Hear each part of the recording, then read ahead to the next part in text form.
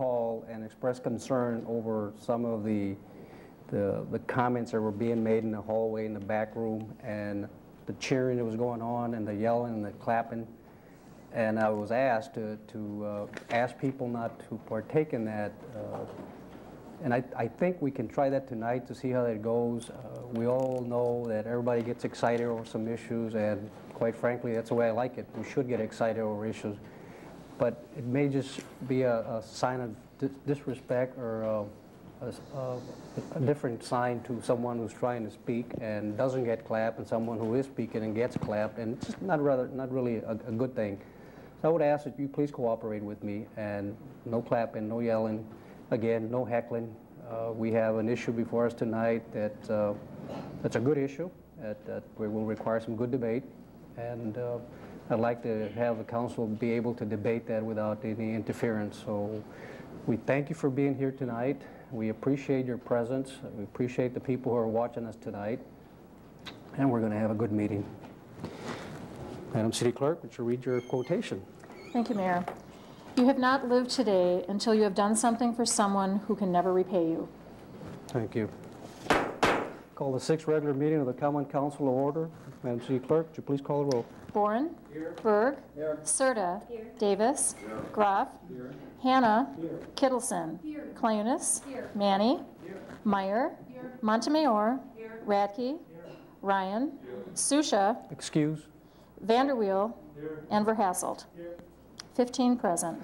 Quorum is present. Alderman Davis, would you please lead us in reciting the Pledge of Allegiance?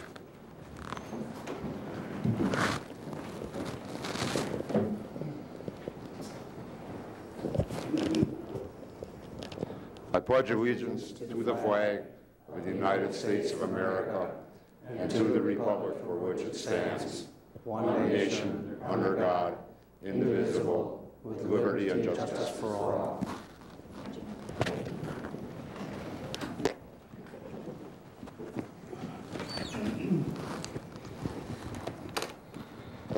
Thank you, Alderman Davis.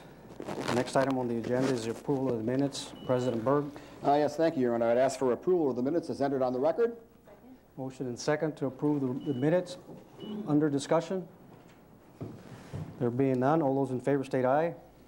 Any opposed? Motion carries. Minutes stand approved. Resignations. Attorney McLean. Thank you, Your Honor. Uh, it's A letter or email to the mayor from uh, Dan Verhasselt advising that, uh, with regret, he's uh, resigning from the Park and Forestry Board. I'd ask uh, motion to accept and file. Motion to accept and file. Any discussion on that? All those in favor state aye. Any opposed? Motion carries. And a letter to the mayor from uh, Trig Jacobson uh, advising that he's submitting his resignation from the uh, Marina and Harbor Committee uh, in that he was the SDC member appointee and he's recently resigned from the Sheboygan Development Corporation. Thank you. And also accept and file. Motion to accept and file under discussion. Alderman Montemayor, you want? Uh, thank you, Your Honor. When I opened my packet and these letters of resignation were included, I thought that's a good idea. I know we hear about them from the front, but I do like to see these letters of resignation and then the letters that, of the people you're going to confirm. And Trig Jacobson's letter was on top, and I love his last paragraph. Dear Mr. Mayor, you're a man of great integrity, and I admire your ability to stand up for what you believe in right in the face of adversity. You are a bright man with a good heart, and I wish the best for you as you lead our great city. Thank you, Trig Jacobson. Thank you, Alderman Montemayor. Anybody else? All those in favor of the motion to accept and file, say aye. Aye. Any opposed? Motion carries. And for appointments, uh, hereby submit the following appointment for your consideration. Thomas Leonard to be considered for appointment to the Joint Municipal Court Advisory Committee as a representative for the Village of Kohler, whose term expires on 4/30/08. And David Gass also to be considered for appointment to the Joint Municipal Court Advisory Committee as a representative for the City of Sheboygan, whose term expires also on 4/30/08, signed by the mayor. And those uh, will lie over. There's a document in place today to add two more uh, people. Crystal Siebert to be considered for appointment to the Blue Harbor Resort Convention Center Committee to fill the unexpired term of Claudia Reinbold, whose term expires 4/30/08. And Vicky Hall to be considered for appointment to the Board of Parks and Forestry to fill the unexpired term of Dan Verhasselt, whose term expires 4/30/07, signed by the mayor. And that will lie over. And Thomas Liebel to be considered for appointment to the Marine and Harbor Committee to fill the unexpired term of Trig Jacobson, whose term expires 4/30/07, signed by the mayor. And that will lie over. And then there's a document with respect to the Metropolitan Law Enforcement Services Study Committee. President Berg, Uh, Yes, thank you. I move to file the document. motion and second to file document. Any discussion? Alderman Montemayor? Thank you, Your Honor. Uh, I know that we're not doing this Metropolitan Law Enforcement study. However, this was such a good committee mixture. Can we use some of them, all of them, as part of the, the studying with the county, or is that already set? We're, we're going to be looking at, uh, President Berg and I are going to be looking at maybe putting together a committee with the same combination of people. Uh, You're absolutely right. I think there, that's a great combination of people. Thank you. Thank you. Alderman Hannah. Mayor Perez, um, I wanted to echo also that that's a great committee that you put together there, and I'd like to see that as part of the Shared Services Committee. That's the right direction to go. Thank you, Alderman Hannah. Anything else? Okay, so we have a motion to, oh, to to file. All those in favor say aye. Aye. Any opposed? Motion carries. Thank you, Attorney McLean. Uh, Public forum. Madam City Clerk. Uh, Yes, first on the list is um, Chris Velasi.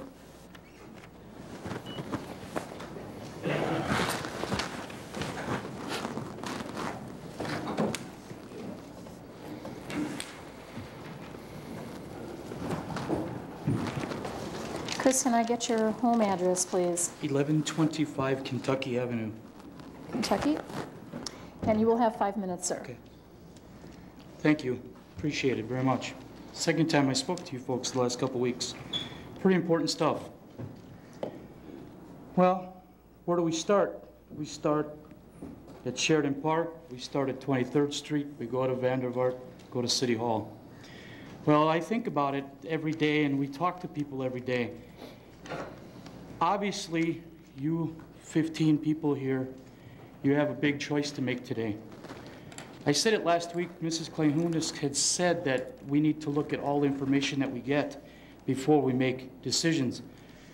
The fiscal responsibility of you folks for us, 50, 60 years down the road for our kids, lies today. This is where we have to make our decisions. Uh, It's really not in best interest of the city to spend a lot of money now for later. Uh, We've wasted a lot of money for this purpose. Alderman Serta and Ryan are going to propose a resolution tonight that I've already talked to a, a- an alderman about it, and their mind is made up. That's wrong. I'm sorry, that's outright wrong. You don't make up your mind before you hear the facts. That, that to me doesn't sit well. The other thing that, that comes to mind is before we do anything, we have to rescind this one in any way, shape, or form. Before you bring 23rd Street back in the fold, just like you did with Sheridan Park, you had to rescind that one to come to here, to go to there, to go to here. People aren't real happy with the fact that, you know, you think about it and you just were flip-flopping. People all over are hearing about this. You're flip-flopping from one to the other. Let's make up our mind. Okay? Don't play games with this, with that. We have to understand that 23rd Street really isn't fiscal responsibility. Uh, what better person to understand about cleanup than Alderman Ryan? He's in that kind of business because he's had, you know, his business, of course. When I was in business, it took a long time for my property to be cleaned up through this, through the Superfund. And as if I'm not mistaken, the bank would not give me the money for that property until they got the okay from the environmental study that it was safe to be sold. So if we have any problems over there, we're stuck for a long time.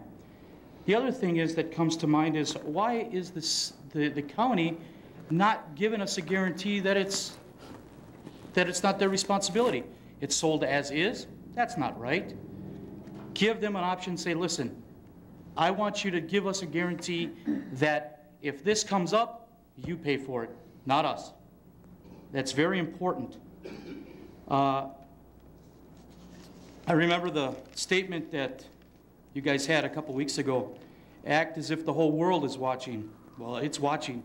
It's watching carefully, and a lot of people are being watched. And you have to be careful because with that, with people watching you, you know, there's a lot of talk. And we have to understand that we have to come back with the fiscal responsibility like everybody talks about. Do not spend the money foolishly. It's not right for us. It's not right for our kids. Thank you. Thank you, Chris. Next on the list is Greg Wegeman.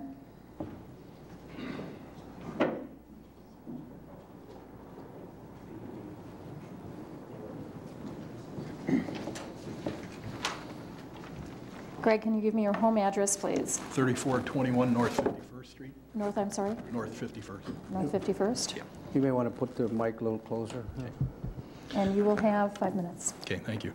Uh, Mr. Mayor, City Council members, uh, thank you for allowing me the time to address you. I am here speaking on behalf of the Sheboygan, Greater Sheboygan Committee, which is a volunteer association of private citizens who are involved in creating, running, and advising in the business community. Uh, One of our main goals is to work to enhance the efficiencies in government. It's our strong opinion that in this matter coming before you this evening concerning the future police station location is that the 23, 23rd Street location is without equal. Um, In 2005, two studies, one was conducted by Zimmerman Design Group, the other funded at considerable expense by local businessmen and conducted by Engman and Moyer, um, said essentially that, um, that the 23rd Street uh, location was without question the, the best. Um, If I may read you an excerpt from the Engman-Moyer study. With increasing demands for services to the public in the absence of corresponding increases in tax revenues to support them, renewed attention is being focused upon efficiencies and economies which come with cooperative efforts between units of government. And it goes on to talk about how the state and, and Office of the Governor and a number of organizations have encouraged that type of um, cost sharing. And it goes on to talk about some of the cost sharing that the city and the county have already implemented, but the need for more. Um, we agree. Um, we'd like, in, in this case, and you look at these studies, the 23rd Street site was clearly the number one choice of the experts. Um, This site allows the city to maximize current and future efforts towards sharing of services and cooperative ventures with the county. No other site selection studied offered as much in that regard. Um, We understand that the Vandervaart site may be offered again for consideration, but that matter was studied, and both consultants ranked that property the poorest of the options. Um, That, its consideration again will just muddy the waters. Um, We, you have before you a monumental opportunity before you- you to develop and strengthen the relationship between the city and, and county government. Do not let it slip away. Um, We feel that this council, rather than being criticized for wavering, should be commended for being willing to right a poor past decision. Um, It's time to listen to the experts and move on so this project is not delayed. Thank you for your consideration. Thank you, Greg. Next will be Barb Tuszynski.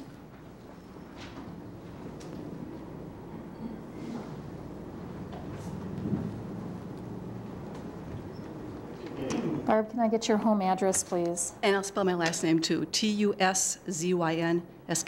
Yes. Home address 2404 Silverleaf Lane, Sheboygan, Silver- Wisconsin. Silverleaf. And you will have five minutes. Thank you. I'm not here representing Citizens for Responsible Government, but there is an organization out there similar to Mr. Wagaman's, but we appear to have different views. We do not represent big business. That group represents the common people, the taxpayers, and the community of Sheboygan. Citizens for Responsible Government's goal is accountability to the taxpayers through responsible government. They're kind of a watchdog group. People might have heard of them. They've been down in Milwaukee dealing with Ament, dealing with uh, Pewaukee. They have some concerns. I'm echoing some of those concerns this evening. I too have read the Moyer study.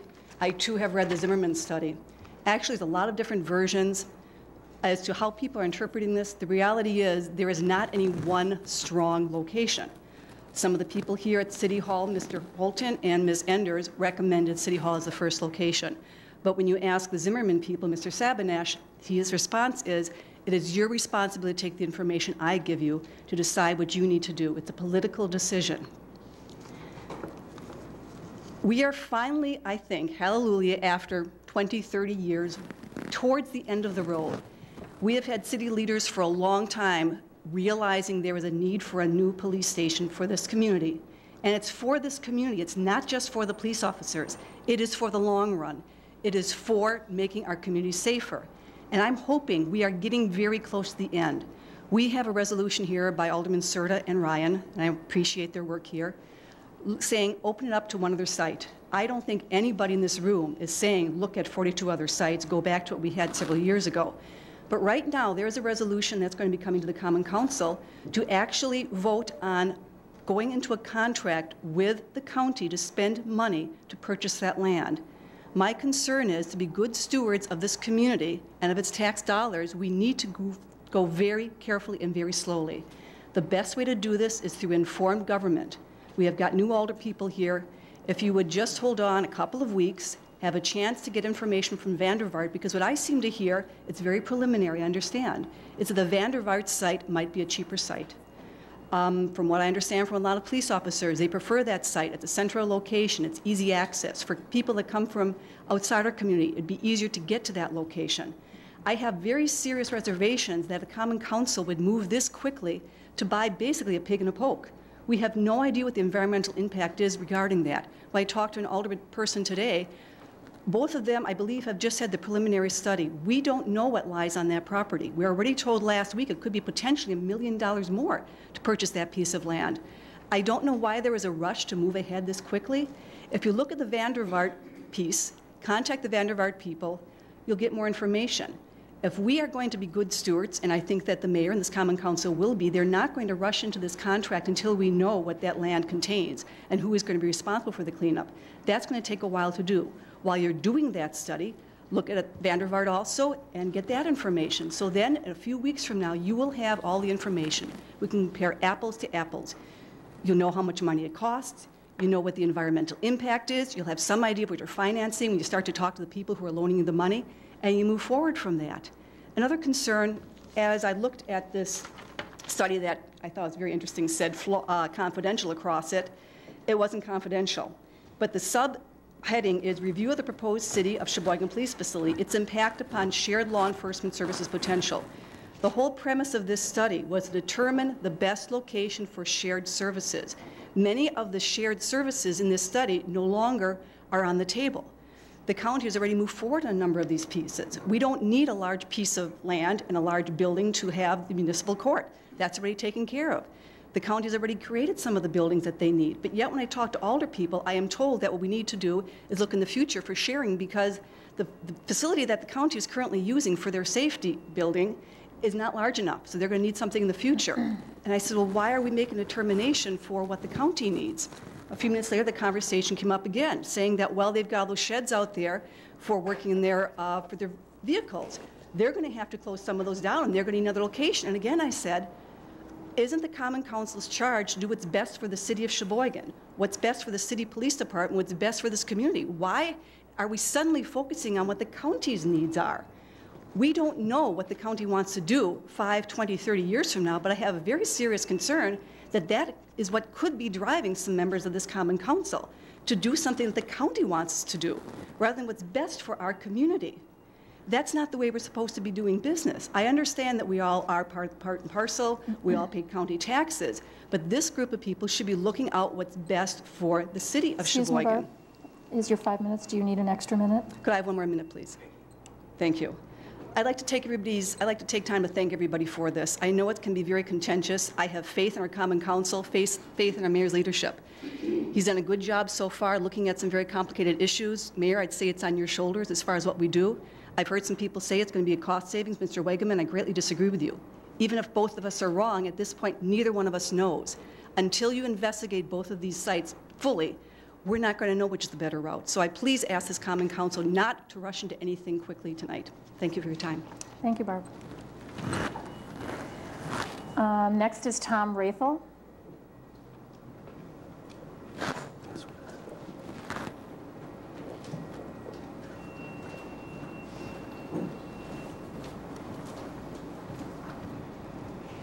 Tom, can I get your home address, please? Uh, 1617 North 24th.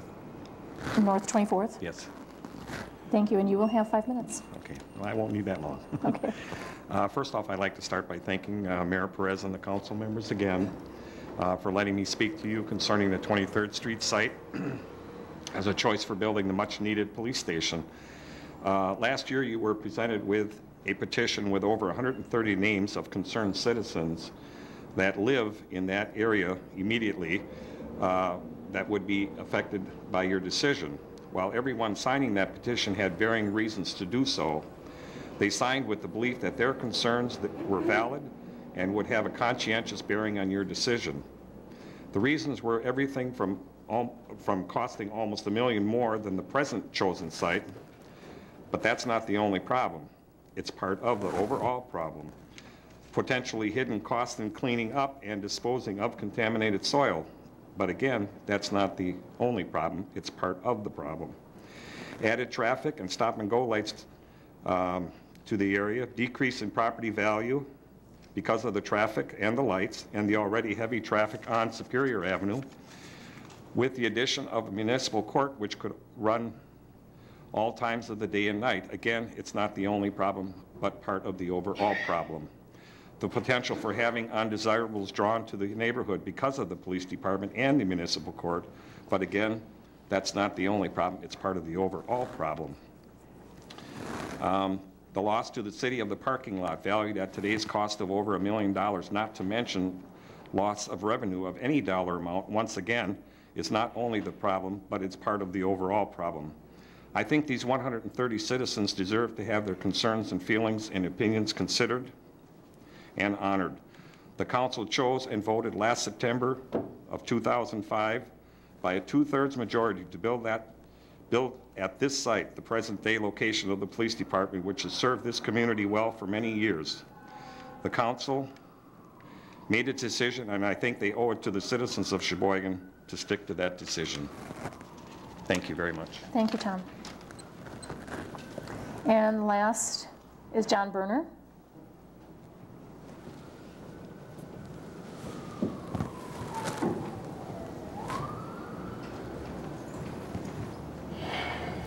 John, can you give me your home address, please? 1919 Broadway. And you will have five minutes. Okay. Good evening, everyone.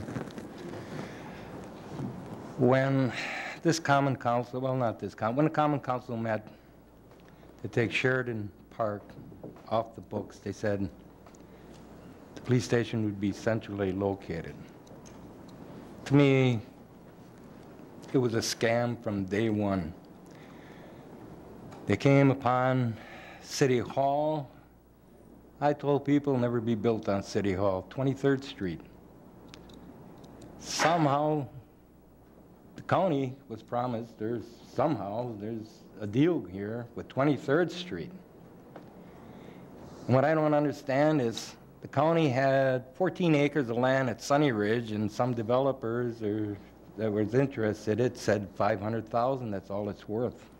How in the heck can you get more for four acres? And it's not even four acres. I think the citizens have been conned. I think a lot of times when I watch this common council meeting, there's council meetings, there are people in this council that know what they're going to vote. They know ahead of time. And then there's some that don't know what's going on. I mean, they don't know that it's a prearranged vote. It's all ayes except for a couple nays. I saw it in the last common council meeting. When you're on camera there and people from Channel 8 show your faces, when somebody makes a decision that wasn't arranged to be voted that way, you should see your faces and the looks you give each other. I don't think you're fooling the people at all. I still say you represent the people. It is your job to figure out which site is the best and economical, economical for this city. And if you can't, let the people decide. Put it on a referendum. People are really getting fed up to a point that it might be time for a change in this council. Thank you. Thank you, John. And that's it. Thank you.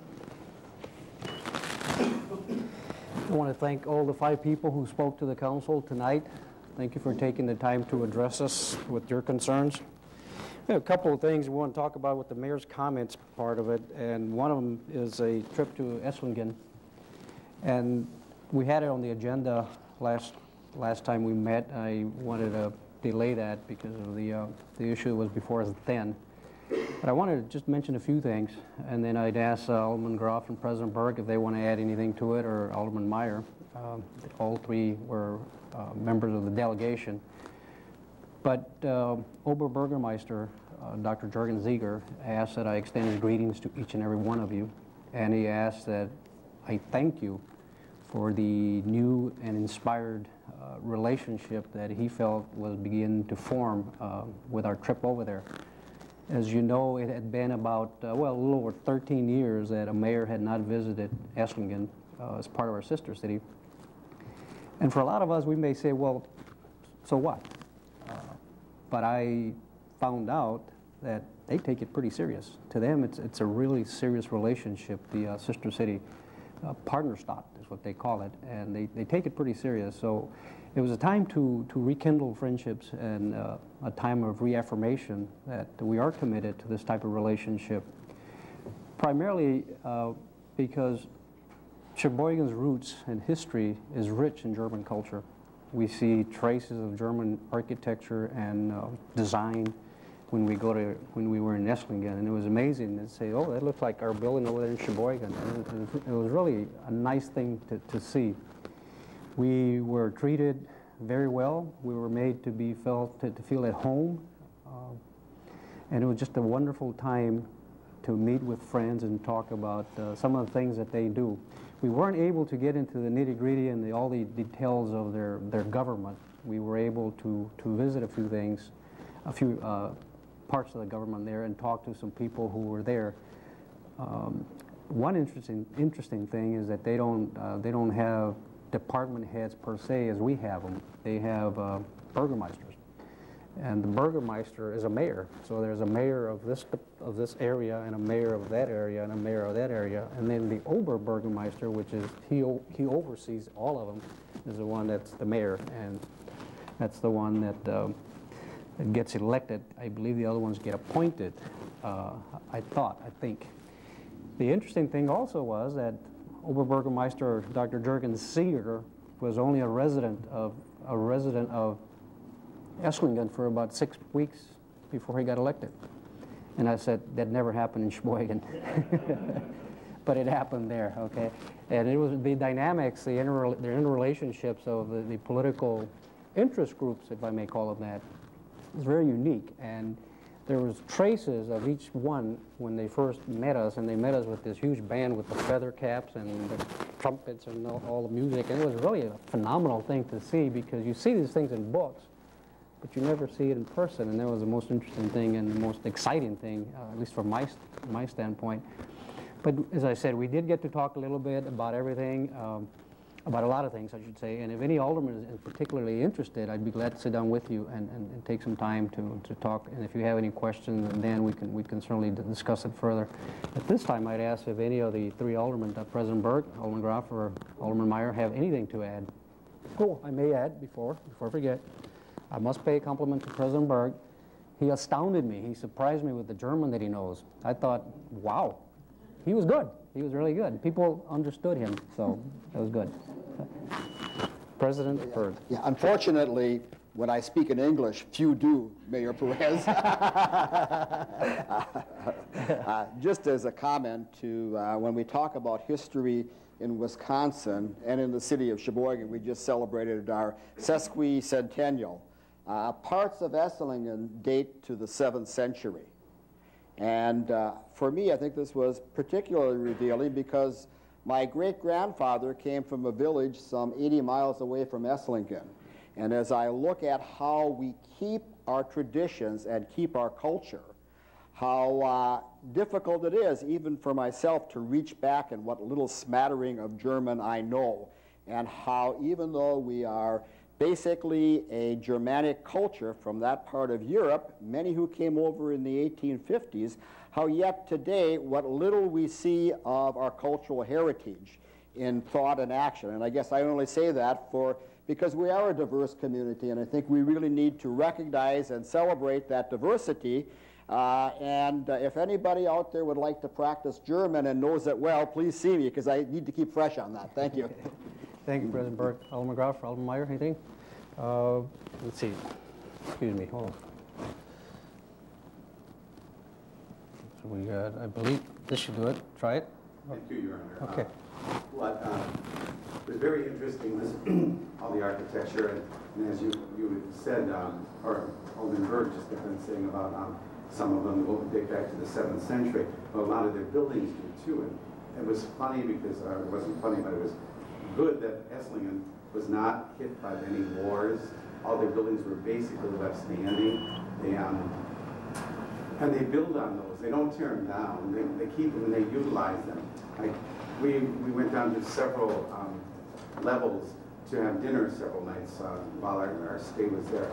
I think one thing that we, we could have done or should have done possibly to stay there a little longer. The four days just wasn't enough time to see everything that we could have seen. Um, we, um, we were there four days and they were, they were full of everything that we had to do. One day we spent at the, um, the police station and uh, just the different things that they had and it was great because the people there, a lot of them did speak English so it was easy to understand it. And they shared with us how they do things. And that's one of the reasons we have this Sister City program, so we can share with, with other cities that we have a, a Sister City relationship. In Esslingen, they call it twinning, the twinning ci- cities that they have, and I believe they have like six in addition to, um, to Sheboygan. Esslingen is a little bit bigger than, than Sheboygan, I think they're about 91,000. And, um, but still, there are many things that we have in common and we need to share. And that's why it was so great to, to be with them. Um, and uh, after 13 years of not visiting them, uh, I think you could see how happy they were. And especially when we were leaving on our last day about how we all talked about getting together next year when the 40th anniversary of, of our, our sister city relationship does come up. And I, I believe there's a lot of people that are going to look forward to, to coming to Sheboygan um, to help celebrate the 40 years of, of sister that. Thank you, Alderman Groff. The, uh, the excitement was so, so great that uh, at the same time we were there, uh, Esslingen has a sister city relationship with some city in France. And the excitement was so, so great between the, uh, the the Oberburgermeister and, and his staff and us that France said, can we have one with you too? So they wanted a sister city with us.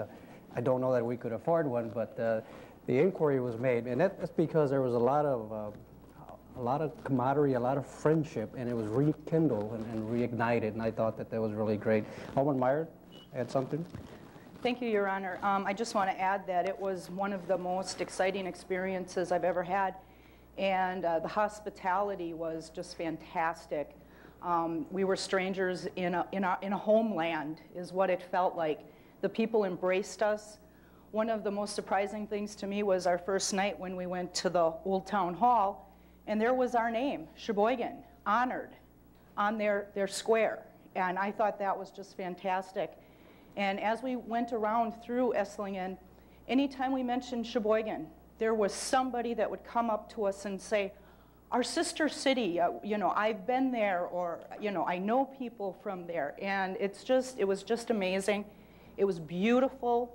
I, the thing that surprised me also was the, the vineyards, because you think Germany beer. The vineyards were everywhere. The wine was wonderful, the champagne was wonderful, and the beer was excellent. Okay, maybe I shouldn't ask you. Interestingly, though, they don't serve a lot of tap water, uh, so everything we drank had bubbles. Everything we drank had bubbles, beer, champagne, uh, wine, and water. Everything had bubbles, so that's the way it was. But as a final closing note, uh, we sit here in a 100-year-old building, and our country itself is about 230-something years old. We were in buildings that were 1,000 years old, 850 years old. Our first dinner was in a cellar that was 850 years old. Structurally sound, beautiful, just an amazing piece of architectural work. And that really inspired me to take a closer look and a more serious look at the things that we have here that we could easily lose and almost deny future generations of that beauty and importance and integrity. So keep that in mind. The other thing I wanted to mention, just a few thoughts. I, I know we have a full agenda and we're going to get into some issues in a minute, a couple of minutes. But I wanted to address uh, something that has been troubling me and I didn't want to address it because I don't want to engage in an exchange of unpleasantries. But I keep getting calls from people who watch us on TV, people who understand and observe our interactions uh, and that of the community with us.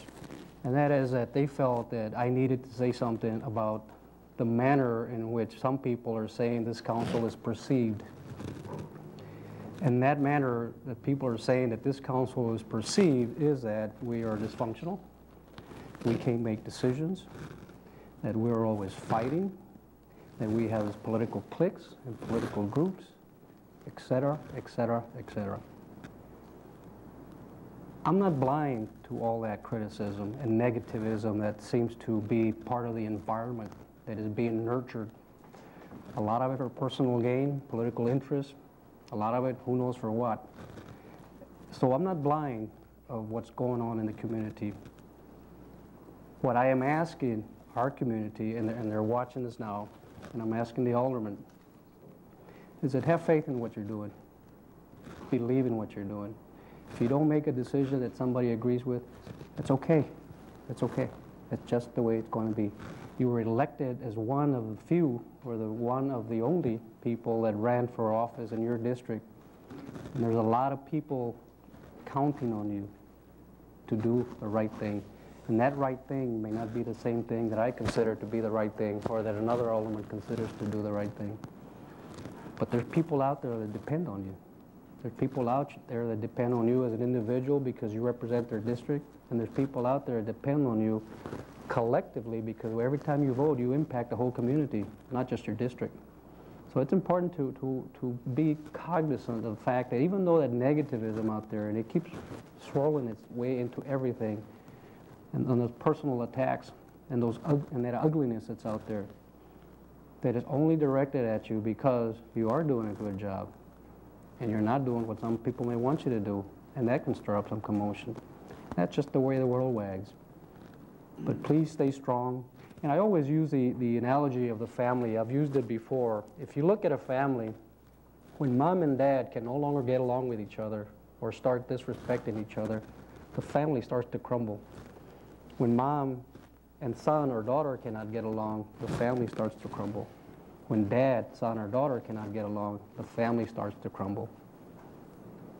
And even though they go through bad times, and if they're going through bad times, and that's what's causing this, the family will crumble.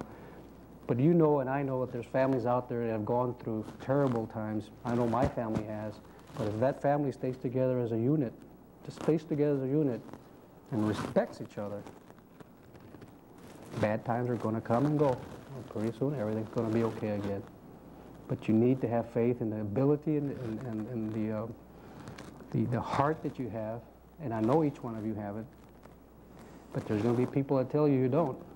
And I've never seen, I have never, ever seen such ugliness and disrespect for city leaders and leaders of our nation and our state. It's unprecedented what's going on. I was, at, I was in Milwaukee and I happened to overhear a man crit, not criticizing, but saying some ugly statements about some people that were there. And there was a lady standing next to him, and she just nipped it at the bud. She said, you know, I don't appreciate what you're saying. I wish you wouldn't say it. And the man said, free country, I can say what I want. She said, it is a free country, but say it somewhere else, not in my presence. And that's almost what we have to do. When people come to you to, to, to, per, uh, to create this respect for another alderman, or the mayor, or the city attorney, or the city clerk, any elected official, nip it at the bud. I'm not interested. Thank you. If we start taking care of ourselves the way a family takes care of each other, we're going to get strong, strong, strong, and everything that comes before us will come and go. And people are going to start seeing what leaders you have the, the ability to be. Now you may say, Mayor Perez, yeah, right, but well, it's not an easy thing. There's a lot of a lot of personality involved, a lot of dynamic interaction, outside factors coming in. But if you stay strong, keep the family unit as an analogy in mind. We have to work together. People elected us to work together, expect us to work together. And folks, the duty that we have and the interests that we represent are much, much bigger than ours. It's those people out there and the kids, all those people who depend on us do a good job. So you almost have to turn off all that negativism and just say, I'm not interested. It's free speech. Go tell it to somebody else. That's what I started doing myself. If people are going to be ugly and rude and nasty to me, I'm going to turn the radio off. I don't mean that literally, but turn, turn it off. Because you will not imagine, you will not imagine the calls I get at home, the emails I get, the messages I get, the ugliness in it. And it has nothing to do whatsoever with the job we're doing. All it has to do with people want you to do what they want you to do, when they want you to do it, the manner in which they want you to do it, no questions asked. And it's okay to consider that advice. It's okay, it's okay to consider those concerns. But you make the ultimate decision. And finally, you make the ultimate decision collectively.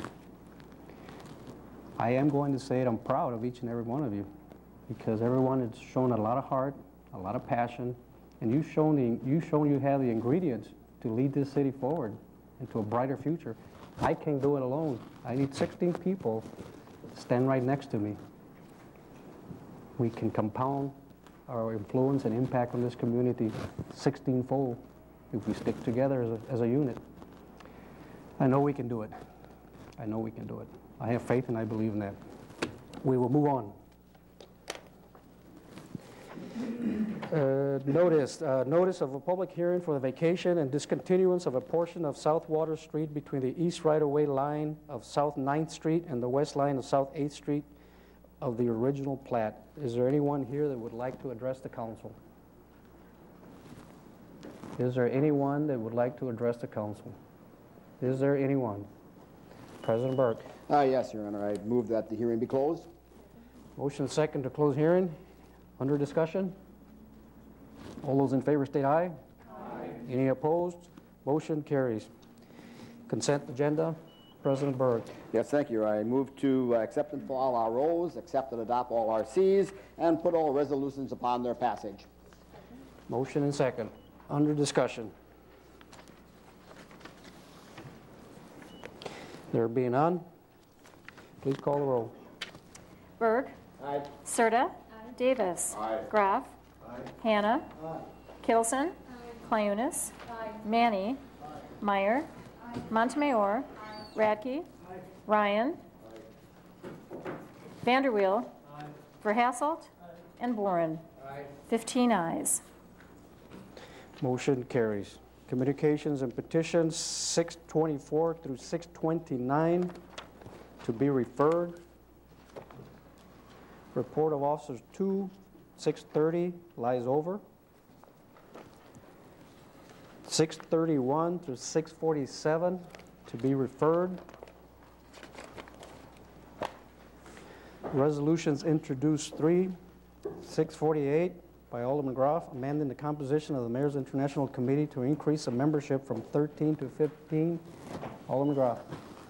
Thank you, Your Honor. I would move that that resolution be put on. Second. Motion and second, under discussion. Please call the roll. Serta. Davis. Groff. Hannah.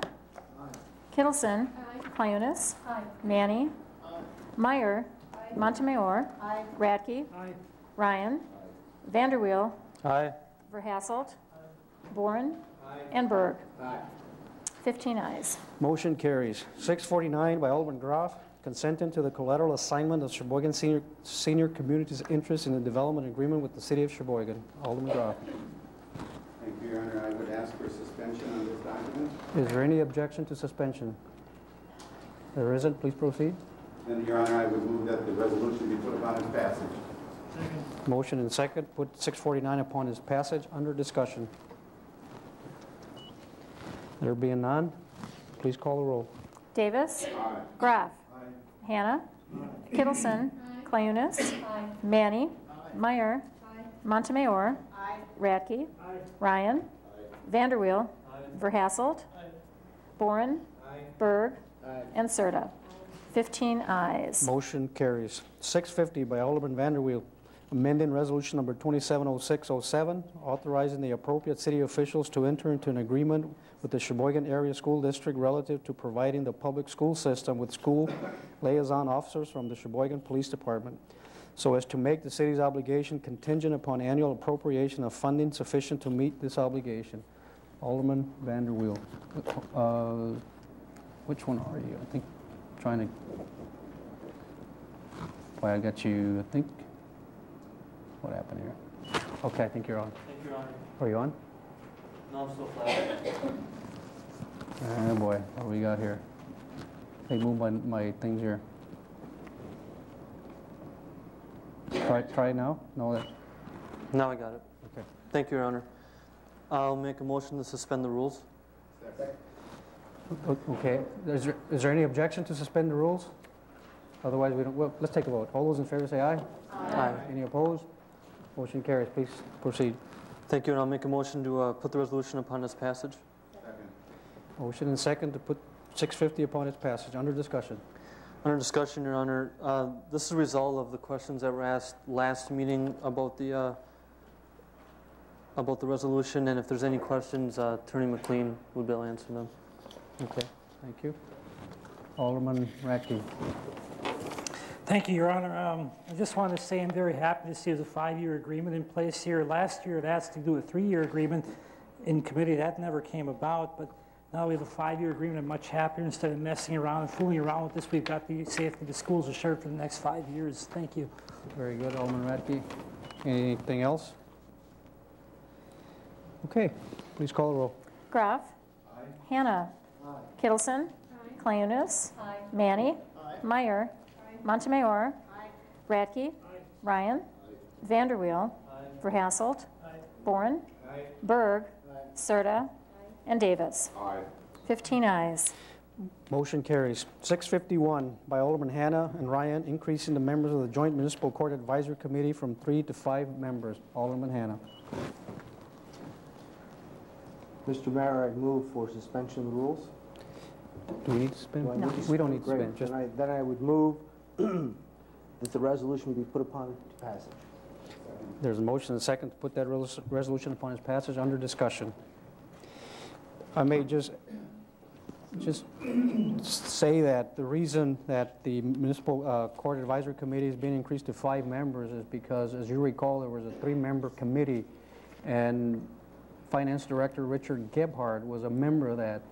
So we were unable to talk uh, as mayor and finance director because that constituted a quorum in violation of open meetings law. Or other that, we had to post the meeting every time we talked. So we haven't been talking to each other, so to speak, for a while. Uh, and I'll be glad to have this thing go so we can start talking to each other again. And uh, we did uh, uh, consult with uh, City Attorney Steve McLean, and that's what was best to do in this case, so we're going to be appointing one. Anything else? Okay, please call the roll. Hannah. Kittleson. Excuse me. Clunas. Manny. Meyer. Montemayor. Radke. Ryan. Vanderweel. Verhasselt. Boren. Berg. Serta. Davis. And Groff. 15 ayes. Motion carries. 652 by Alderman Groff, Meyer, Montemayor, and Kittleson, requesting that the Common Council reconsider the North 23rd Street site for the new police station. Alderman Groff. Thank you, Your Honor. I would ask for suspension of the rules. Is there objection? Is there objection? Objection? Okay, there was a motion and a second. Let's call the roll, let's call the roll on the suspension. Any, any discussion on suspended? Alderman Groff made a motion, Alderman Myers second. We have to call the roll. This is, an aye vote would be to suspend. Kittleson? No. Clayunas? No. Manny? Yes. Meyer? Aye. Montemayor? Aye. Radke? No. Ryan? No. Vanderweel? No. Verhasselt? Boren? Aye. Berg? Aye. Serta? Davis? No. Groff? Aye. And Hannah?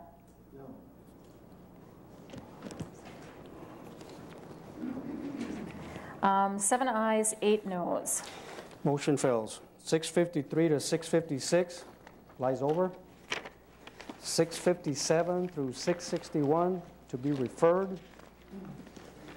Report of Committee 662 by Public Works in- informing the Department of Natural Resources that the Compliance Maintenance Annual Report has been reviewed and recommending passing the attached resolution as required by the Department of Natural Resources.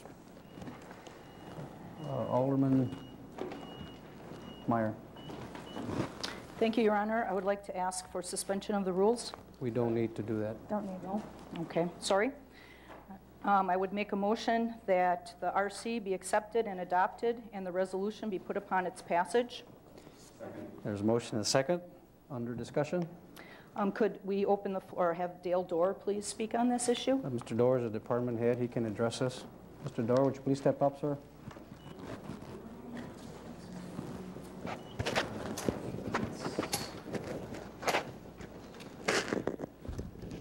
Thank you, Mayor. This, the uh, CMAR is a uh, method by which the DNR, Wisconsin Department of Natural Resources, uh, monitors wastewater treatment plants and how well they do, uh, do their job.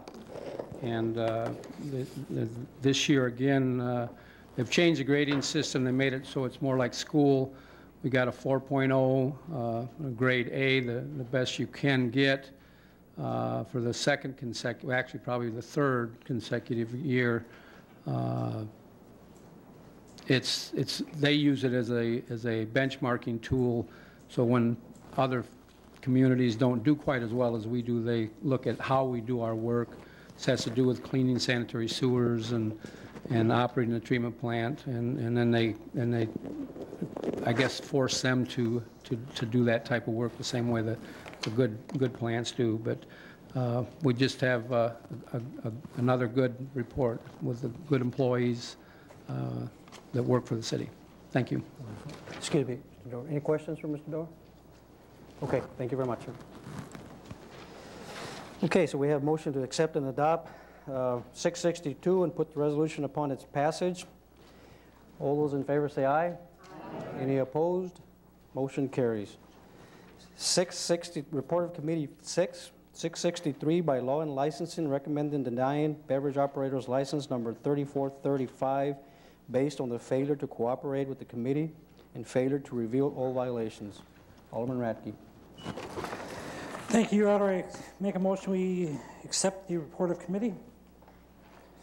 There's a motion second, under discussion. Under discussion is Sherry Blackshear here this evening. Sherry Blackshear?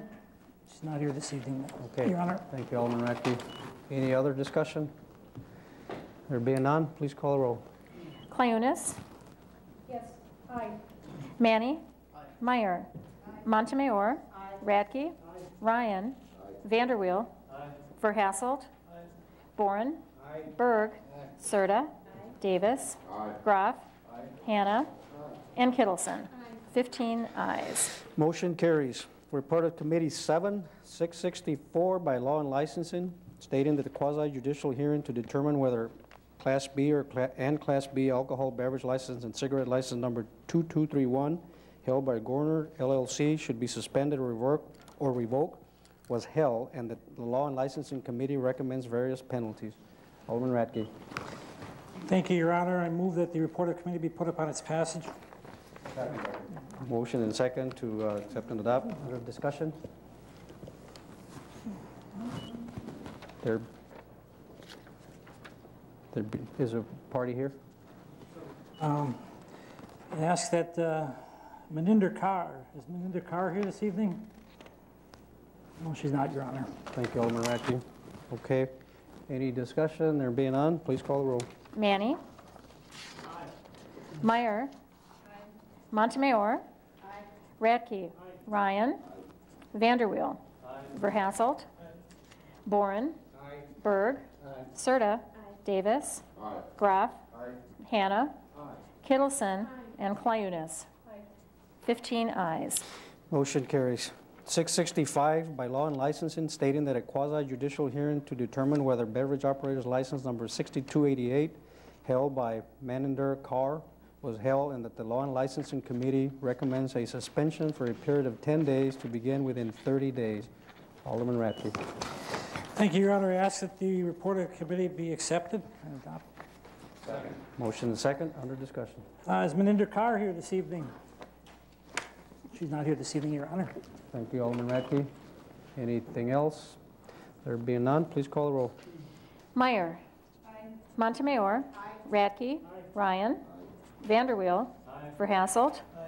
Boren. Berg. Serta. Davis. Groff. Hannah. Kittleson. Clyunas. And Manny. 15 ayes. Motion carries. 666 by law and licensing recommending that the, that alcohol license application number 2231, the Sheboygan Mart, be granted pursuant to various conditions. Alderman Radke. Thank you, Your Honor. I accept the report of committee, make a motion that the report of committee be accepted and adopted. Motion and second to accept and adopt 666, under discussion.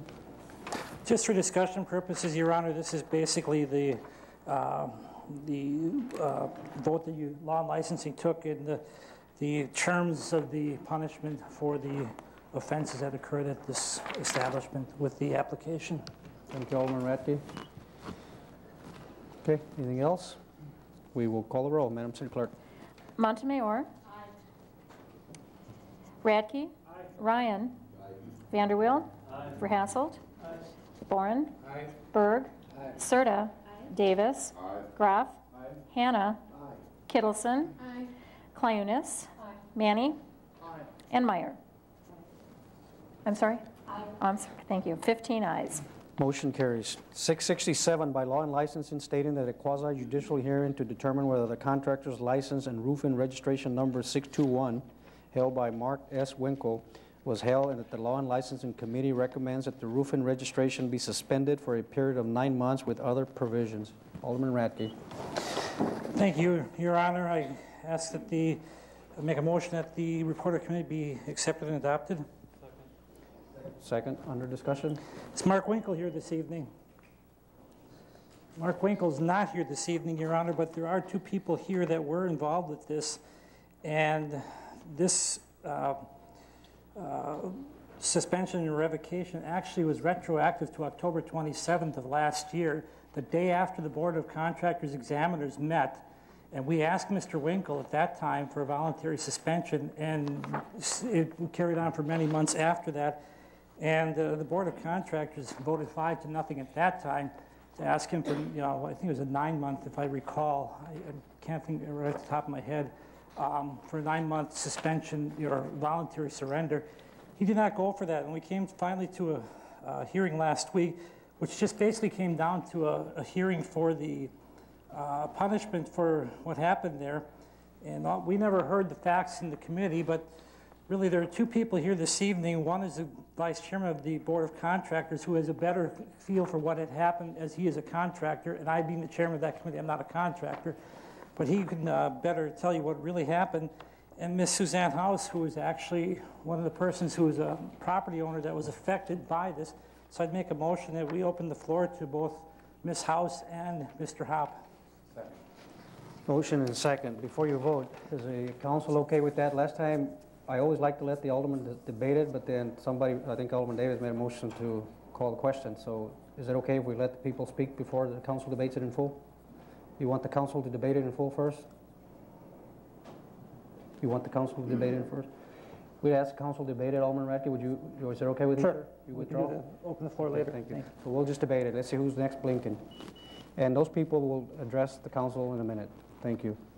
Alderman Barn, you're first. Thank you, Your Honor. Uh, Mark Wil- Winkle is a uh, friend of mine, and I abstained uh, in the committee on this, and I'm also going to abstain on the vote tonight. Thank you. Thank you, Alderman Bourne. Alderman Meyer, you're next. Thank you, Your Honor. Um, I was on the lawn licensing committee last year when this issue was first brought into us, and we rejected this um, penalty because we felt it was not fair to the people that were victimized here. And what has happened the other night is basically a slap on the wrist. Um, we, we give a lot of people a lot harsher punishments for doing less than what happened in this um, situation. And I can't go along with this sentence. It's just not, it's not fair. It's not fair to the people. It's not fair to the honest contractors in this city. And I just can't, in all good conscience, um, accept this. Thank you, Alderman Meyer. Alderman Ryan. Thank you, Your Honor. Uh, Mark Winkle has been a contractor in Sheboygan for over 20 years. Uh, These two violations in question occurred in 2001 and 2002.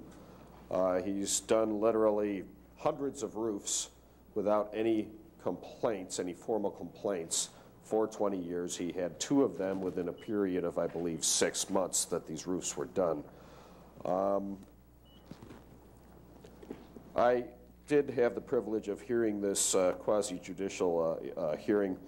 Um, Mr. Winkle, since 2001, 2002, was continuing to be a contractor, pulling licenses, doing roofs in the city of Sheboygan until uh, October of uh, last year, October 27th, I believe it was, of 2005. Also during that time, he had no complaints. Um, it was the recommendation of the uh, of Chuck Adams, uh, city attorney, uh, to go with this nine-month license suspension. Both myself and Alderman Berg recommended that if Mr. Winkle were to violate anything in the future, that this these incidents would be considered in that penalty. Uh, we felt it was fair. Um, you know, Mr. Winkle definitely he he he tried to make amends to make it right. One of one of the roofs, um, he which was a, a church, uh, he basically was in over his head on it. He admitted it. Didn't have the expertise to do it. Didn't have the personnel to do it. Paid the price for it. Uh, the other, um, he did respond to the homeowner on several occasions, trying to to make it right, trying to make it sound um, and, and was not able to. I, th- I think Mr. Winkle is not, he's not a fly-by-night operator by any means. He's been in business for over 20 years in this town. Uh, until these incidents, I believe he, uh, he does have a, a decent reputation as a contractor. And uh, I feel that the, uh, that the penalty uh, that he has received is fair. Thank you. Thank you, Alderman Ryan. Alderman Radke. Thank you, Your Honor. Um, October 27th was the day he stopped, said he stopped doing roofing contracts in the city of Sheboygan. That was the day after the Board of Contractors had met, and we had asked him at that point in time. He voluntarily did that.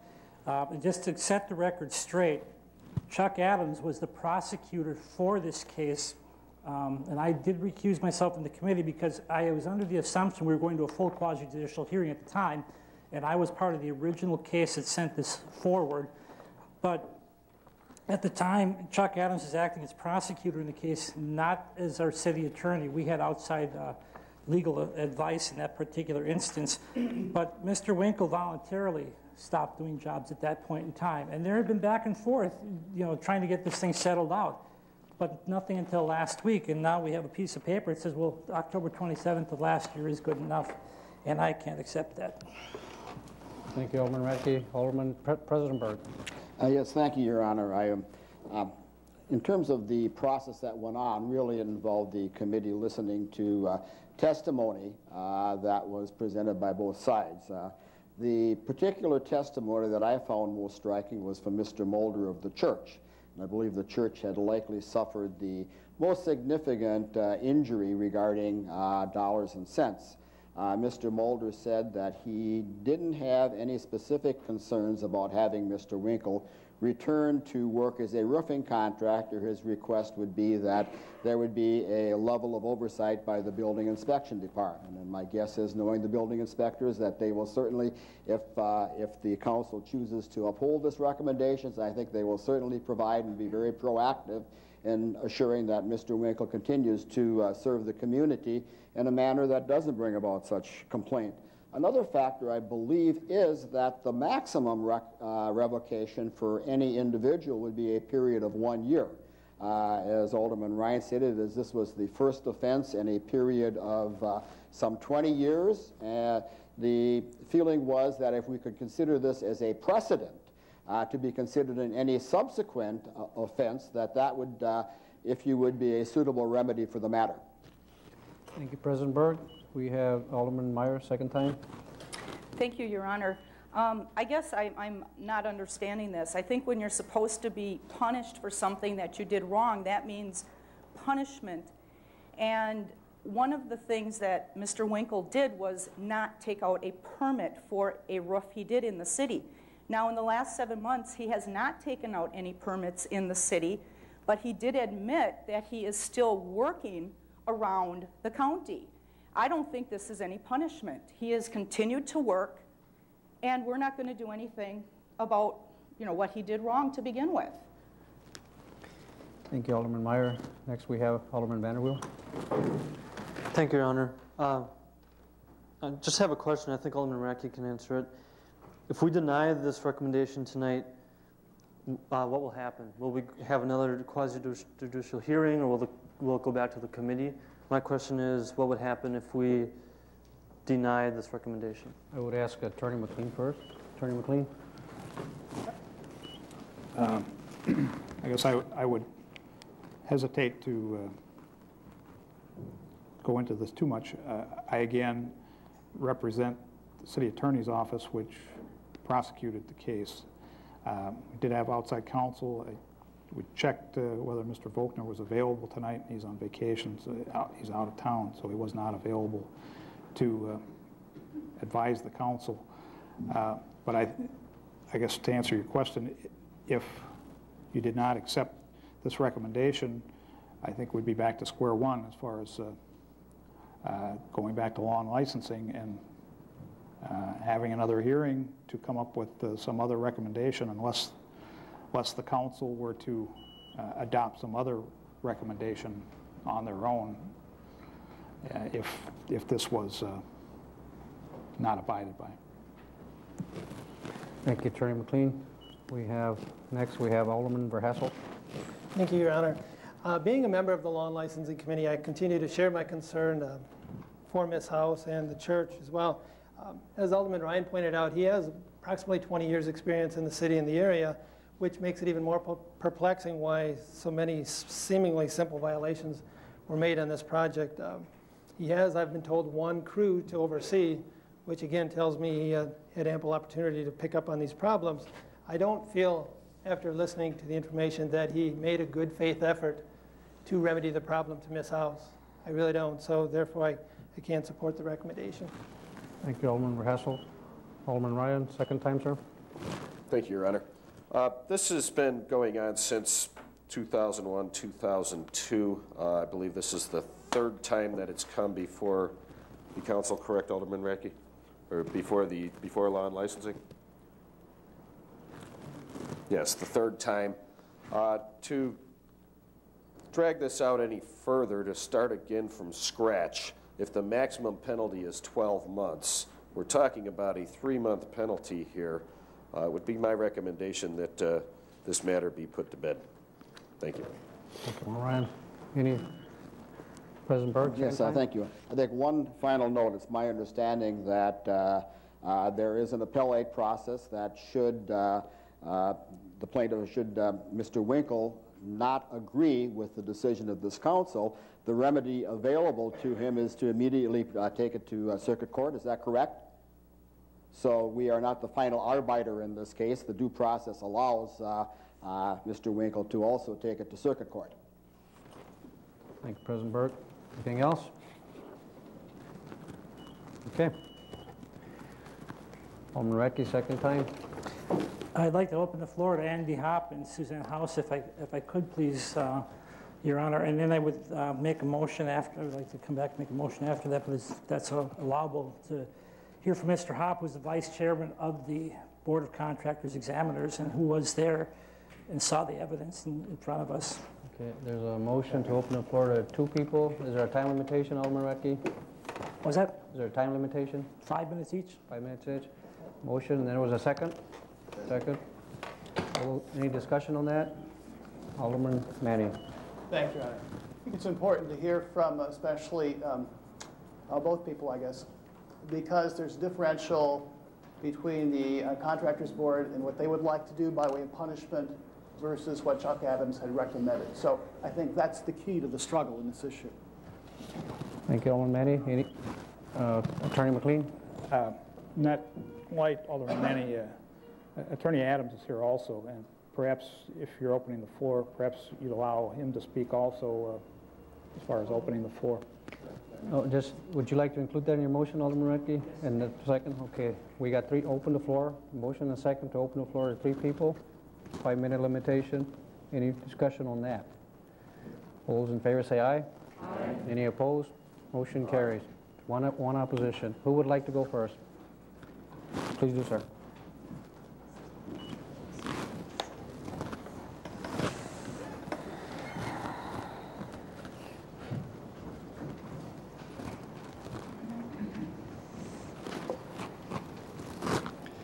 Thank you, Your Honor, and thank you, members of the Common Council, for allowing me to speak. I come before you this evening to respectfully request that you revoke the roofing registration of Mr. Winkle for a period of nine months, starting from this date forward, rather than retroactive back to October 27th, as recommended by the Law and Licensing Committee. It's not easy for me to get up here and speak out against a local businessman, especially one who's a, a member of that loose fraternity that is the construction trades. I don't know Mr. Winkle personally. I've only talked to him on one occasion, and that's when he was before the Board of Contractors. He's not a competitor in business to me, so I really have no personal agenda here. I do, however, feel compelled by the fact that I'm a member of the Board of Contractor Examiners. I take that very seriously, and I feel it's my duty to protect the citizens of Sheboygan from contractors that aren't following the building code.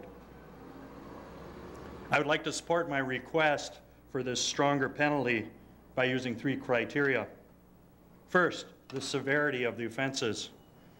I hope you have the stipulations in front of you uh, RC-6-07 from Law and Licensing.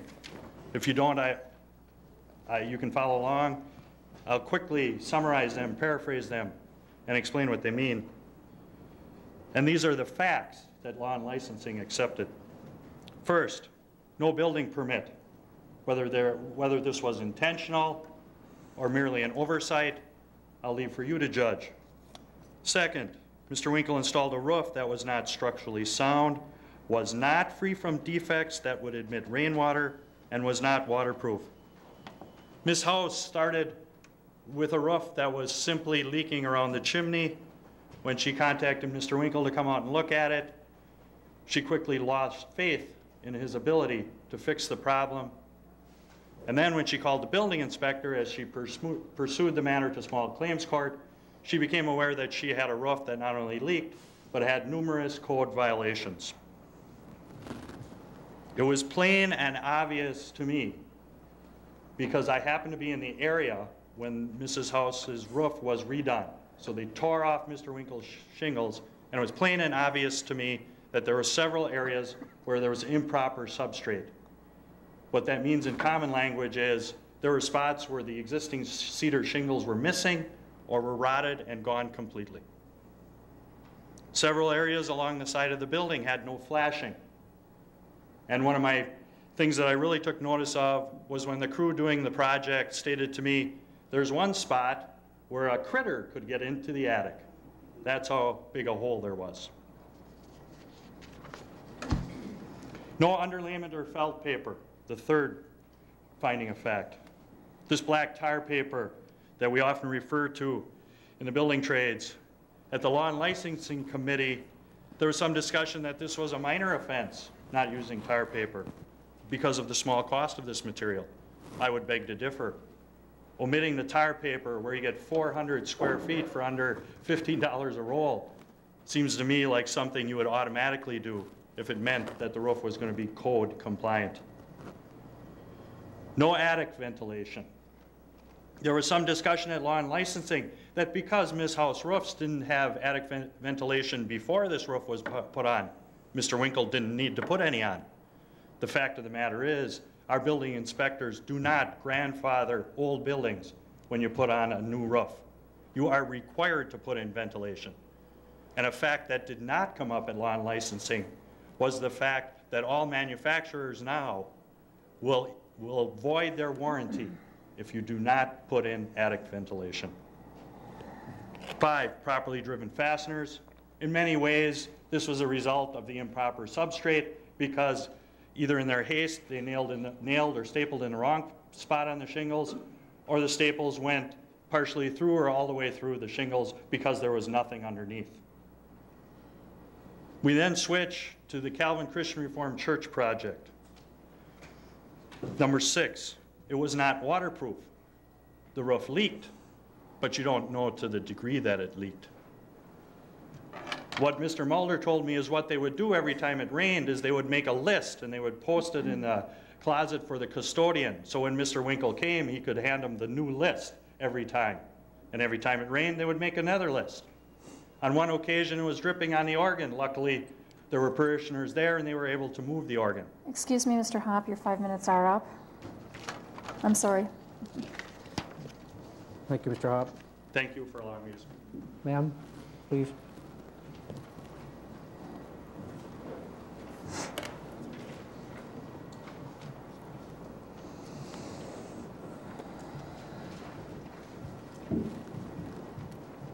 Thank you. You're welcome. Thank you for taking this time to listen to me. I know that you have a lot of really important things to talk about, but I appreciate that um, an individual can come and talk to you. Um, I am Suzanne House. I live on Barrett Street, and I bought my first house a few years ago. My inspector told me that the roof was bad, I should get it redone. I asked that that be part of the purchase, and so the roof was redone. Um, in August 2002. It first leaked in August 2003, then in October 2003, and then June 2004. Um, I know that Mr. Winkle's attorney has said many times that Mr. Winkle responded immediately and tried very hard to make amends. There were many good faith efforts. Um, and that's what I would like to talk about. The code violations are well documented, there are pictures and everything. But um, Mr. Winkle's attorney um, implied that I asked him to come once. When he didn't fix it immediately, I immediately took him to court. In fact, I asked Mr. Winkle to help me. I asked his insurance company to help me. I asked the company that held his bond to help me. My insurance company was trying to help me. And then I went to small claims court because Mr. Winkle um, would not help. I um, kept working because I thought there was this basic idea that if someone does a bad job, then they'll reimburse you to get it done properly. And apparently that was naive, and now I'm much wiser in the ways of the world. Um, I had to pay $8,000 to have my roof redone because it was in such bad shape. And I knew that if I ever go to sell my house, there's no way I could say it's a good roof because it clearly had lots of problems. I also had to spend um, a few thousand more to fix the inside damage. At this point, my interest um, in the penalty that is given to Mr. Winkle has to do with just consequences for the actions a professional takes and my attempt. I don't want other people to have to deal with this. I would much rather be at home, not here talking about my roof. I've learned far too much about roofs. Um, but there was a lot of correspondence. I'm an English teacher, so what I can do, I don't roof, but I write letters. So I have um, a lot of correspondence, and I'd like to read some of um, Mr. Winkle's correspondence that happened about this. Um, well, first when he came, he stood with me and he said it was the chimney Um, his assistant put some mortar, some putty in the mortar, and he told me never to have a roof done as part of a house sale, that his company had complied with the seller's request for quick work. At that point, I pretty much lost faith and decided I would rather have somebody else up on my roof. So um, I eventually asked my insurance company to help me. He wrote to my representative of the American Family Insurance an inspection by the city building inspector has absolved us of any wrongdoing. That was July 6, 2004. In fact, there was no building inspection until October 18, 2004. And then he was cited because um, the roof was not watertight. He, um, when I went after, I tried to get money from the bond, um, and the National, Nation Specialty Insurance says, I have spoken with Mr. Winkle, who has indicated the roof was installed properly and satisfied all pertinent codes and ordinances. It had not at that point. Mr. Winkle wrote to Bradley Temple from the insurance company. It's unfortunate that Ms. House had a leak problem, but the fact that the problem surfaced a full year after our work was completed would indicate that the problem is not a result of workmanship. Ms. House's allegations about workmanship are based on speculation and supposition and she offers no evidence to support her allegation. Her allegation is further contraindicated in that the municipal inspector has not cited my firm for code violations or workmanship deficiencies. Um, it's true, that was August, and they weren't cited, he wasn't cited until October. Um, when he wrote to the subrogation examiner for the insurance company that was helping me, um, your letter is a grievous error and it's a complete falsehood. Your insured, Suzanne L. House, was informed by another roofing contractor that the leak in question emanated from a defect in the chimney flashing, which was installed by another contractor after our work was complete. This is something that he said in court, that there was someone else who had been on the roof. I never had anybody else on the roof. I went back and got statements from the realty company and from the previous owner who never had anybody else on the roof. Again, Ms. House's allegations are born out of speculation and supposition when I asked, when I had, uh, I don't know what the words are, I said I would like to take him to court, his response was, the residence does not need to be re-roofed. I was not cited by the building inspector for a code violation. Then we went through the mediation and we ended up in court um, where I learned that he had another roofer get up on my roof without my knowledge or permission and do a roof inspection that I didn't see until we were in court. Um, uh, finally, on June 27th, his lawyer asked that, in fact, he not have to pay court costs because Mr. Winkle wants the court to know he has spent more than $3,000 in attorney's fee and an additional 365 in expert witness fees defending his case, so he shouldn't have to pay anything. August 28th, he wrote to the judge without copying me and requested that the matter be reconsidered. None of this, to me, speaks of a professional trying to do his best to make up for an error. Thank you very Thank much. Thank you, Suzanne. Thank you very much. Uh, Assistant Attorney, Assistant City Attorney, Mr. Adams. Thank you, Your Honor. I speak this evening simply as the uh, prosecutor uh, on the case, and uh, uh my recommendation was, in fact, that the license be suspended for a period of nine months and that uh, Mr. Winkle be given credit uh, for the period of time that he voluntarily uh, did not act on the license. Um, I, would note that uh, um, I do, I did have some knowledge of, of, what was going on. I'm a member of the church uh, where, where this occurred. In fact, I've been dripped upon, a member of the council there. And uh, Ms. House is a friend of mine, my former next door neighbor on North 9th Street. Uh, but I do think that the penalty that has been imposed is, is a fair one. first of all, why nine months? Uh, nine months primarily because these are serious violations. They are not the type of violations that uh, are minor and warrant a, a, short type of violation like, like we would uh, oftentimes do for minor violations. Nine months is three-fourths of the maximum penalty. Uh, and I think that uh, these kind of violations are worth uh, nine months. the reason why I did not recommend the full one year is because this is somewhat different than previous cases where we have requested the full one year or revocation. Those are, we're in situations uh, that uh, we call cut and run contractors. The most recent one we did was a contractor by the name of Scott Kale, uh, who we revoked the license. He was a cut and run contractor, uh, had done some work, disappeared, um, there's perhaps maybe only one or two of you who were on the council at that time a few years ago, uh, but an elderly couple uh, that basically was bilked out of their money when a contractor um, left without even completing the work. This was not that type of cut and run, and so I felt that one year would not be, the maximum would not be appropriate, but nine months would be. As far as why giving credit for the period of time uh, that he did not take uh, the license, one is because the process simply took a long time, and he did voluntarily, once the uh, uh, Contractors Board requested that he voluntarily surrender his license. He did take the action. He didn't surrender the license, but he didn't act on the license either.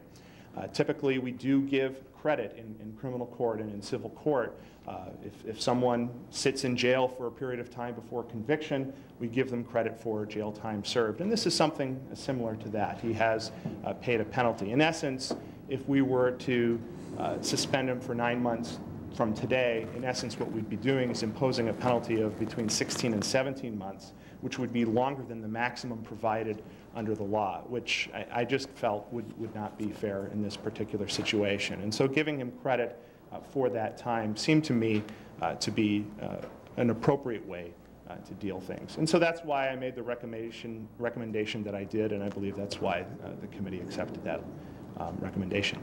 Thank you. Thank you, Assistant City Attorney Adams. We have uh, Alderman Vanderweel. Thank you, Your Honor. Um, I respect Assistant Attorney Chuck Adams' recommendations, but I don't agree with, with them. So I would like to make an amendment to the RC, if I could. I believe you And can. the amendment would read on the fourth page, would be the last page. It says that the roofing registration held by Mark S. Winkle be suspended for a period of nine months. And then I would add starting June 19th. Second. And then um, the words with effective immediately with credit being given for the time since October 27, 2005 should be deleted. And then go on to read the rest of the uh, RC. Thank you, Alderman Vanderweel. Motion and second. Madam City Clerk, you get that? Sure. Okay. Alderman Radke? Thank you, Your Honor. This is what the Board of Contractors Examiners wanted from the very beginning. To go back to October 27th, boy, there's enough feedback in here. To go back to October 27th would not be correct because we met on October 26th in a special meeting. We only meet every other month, the fourth Wednesday, and I, we had a normal meeting in November. We were not able to take anything up until November. At that time, we rejected and sent it back. There was a little back and forth in that time. But the truth of the matter is, you know, he could have worked the whole time. If he was sitting in jail, well, then I would have given him credit for that because he couldn't have worked. But he could have worked. He took it upon himself to go backward while we were negotiating back and forth trying to come up with this. So I think nine months from today, and it's what was a recommendation of the Board of Contractors. And if you would have seen the pictures, and I wish I could have brought them in here, and I should have, um, didn't think of it till just now. I'm not a contractor.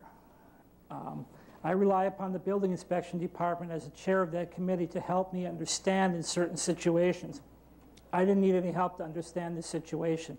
I saw those pictures. Those pictures weren't pretty. They were not at all. I mean, it did not look like a, a, a newly finished roof. It was very bad looking. Now, that was a picture of Miss uh, House's home.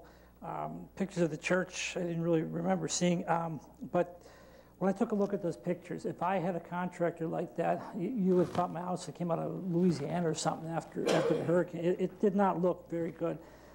And I'm just a regular working guy here. I'm not a contractor or anything, but I could see it just as quickly as I looked at those pictures.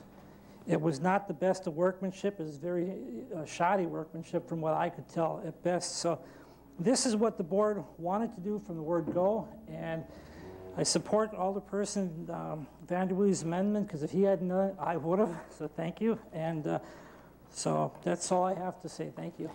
Thank you, Alderman Radke. We have Alderman Ryan next. Thank you, Your Honor. Uh, as uh, Assistant City Attorney uh, Chuck Adams uh, stated, this would be the equivalent of almost doubling the penalty for Mr. Winkle. He has not done a roof in the city since October 27th. Um, I believe that, that his recommendation is correct to all of a sudden now tack on another nine months on top of the, the eight months that he has nearly already uh, completed voluntarily not doing roofs, I think is excessive at best. Uh, I, I, I don't see Mr. Winkle accepting that penalty. Uh, I, I, I guarantee you I wouldn't to be uh, penalized doubly. Uh, and I think this is going to continue on and on into the future if it is not accepted uh, uh, as uh, stated in the resolution. Thank you.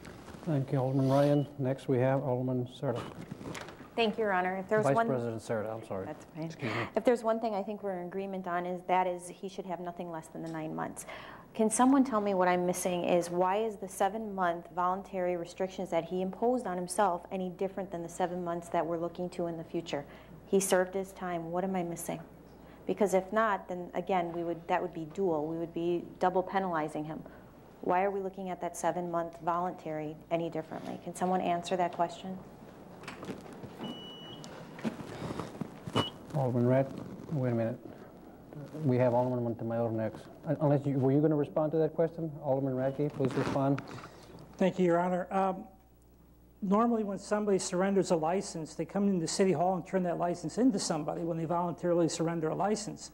In this case, I don't believe that ever happened in any situation. Um, he could have continued to work out there because he did hold his license, but he never turned it in. He had it the whole time. So I don't think that's a voluntary surrender when you hold on to your license and can continue to work if you choose to. He just chose not to while this was all going on, trying to come up with the penalty uh, phase. Thank you, Alderman Radke. Alderman Montemayor. Thank you, Your Honor. Uh, It seems to me that the penalty should be that you won't be earning money for nine months. If he was still earning lots of money working in the county, how was he complying with not earning money for nine months? That's my question. Thank you, Alderman Montemayor. Alderman Serta, second time. Thank you, Your Honor. Um, Just to reiterate, I understand Alderperson Radke's opinion on that matter, but when you take into consideration the legal advice by the Assistant City Attorney Chuck Adams, who was the prosecutor, he even recognizes that in court, that seventh month voluntary um, suspension that he gave himself would still probably be upheld. Thank you, Alderman Serta. Alderman Ryan, second time, sir. Uh, Thank you, Your Honor. Um, Yeah, actually, uh, uh, he has voluntarily surrendered, he has not surrendered his license, he's voluntarily not done roofs for seven-plus months, and the penalty uh, suggested here will carry it out to nine months. Um, To, to say that he hasn't earned money in the last seven months, uh, if his, if his license was suspended for nine months starting today, Mr. Winkle would still be able to go to the county and work and do roofs in the county. He just wouldn't be able to do roofs in the city, is my understanding. Uh, This is his city rougher's license, not the county rougher's license. Um, So it's, you know, it's- I, I, I don't think you can ask somebody if they're not sitting in a jail cell getting four squares a day or three squares a day to starve themselves for nine months and not work at all. Uh, For him to have worked in the county, he voluntarily stayed out of the city. He did not pull any permits in the city for the last seven-plus months. Uh, I believe it is, it is it- sensible to go uh, uh, with uh, uh, Assistant City Attorney Chuck Adams' recommendation in this case. I personally do not care to, to see it again in the, in the uh, Law and Licensing Committee. Thank you. Thank you, Alderman Ryan. Attorney McLean. Thank you, Your Honor. I- I I don't wish to address the merits. I I guess it's really a procedural issue. Uh, And Alderman Radke and uh, Alderman Vanderweel, I guess you made the motion, but the- the, technically, you've got the committee report from Law and Licensing. I- I don't think you really want to amend the committee report. That's the recommendation of the committee. I guess what you would propose to do would be to accept and file the report of the committee and recommend, as you said, that the suspension uh, for nine months uh, be from today as, as opposed to being retroactive, and, and that the other provisions in here that uh, those complaints or those allegations be used for future penalties and so forth still be in there. But that's just sort of a technical issue that uh, you're not really, I don't think it's appropriate for the council to amend a committee report if you know what I understand what I'm saying. Alderman Vanderweel. Thank you, Your Honor, and thank you, Attorney McLean, for uh, clearing that up. Then I will make a motion to accept and file the, uh, the RC, and with recommendation to start the nine months June 19th. I'm sorry, what was the motion again, Alderman Benner? The motion was to accept and file the, the uh, RC, the report of committee, and to recommend that we start the nine-month um, suspension period today, June 19th. Recommend to the Law and Licensing Committee? No? Just, just recommend? Okay. To the Very. Was there a second to that? Okay, there's a motion and a second. Under discussion. Please call the roll. Does everybody understand what you're going to vote on? Uh, Attorney McLean, did you want to say something, sir? Uh, just to clarify, that would also include, as I understand it, Alderman Vanderweel, that the similar language that's in the recommendation as far as uh, that should additional formal complaints be brought before the Contractors Examiners Board, that, uh, or the Law and Licensing Committee or the council, that the allegations of complaint should be taken into account by those recommending penalties and the potential future actions. Yeah. Thank you. For Alderman Ryan, you, this is third time, are you, well, excuse me, does the council have objection to that? There's a rule two times per... It's a new motion. It's a new motion? That's right, I forgot. Alderman Ryan. Uh, Thank you once again, Your Honor.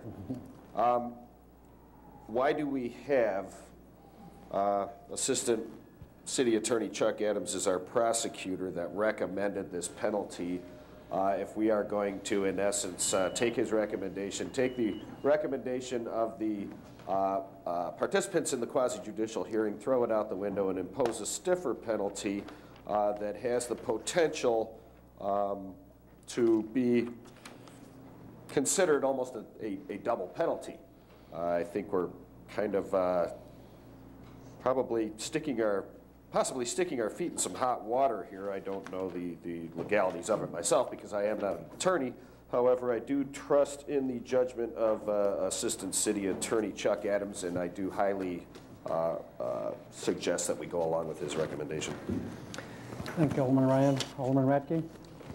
Thank you, Your Honor. Once again, let me give you the, the, the sequence of events here. Um, this came before the Board of Contractors Examiners, who voted five to nothing unanimously for a nine-month suspension or voluntary surrender. Mr. Winkle didn't do that. He eventually came here, went to law and licensing.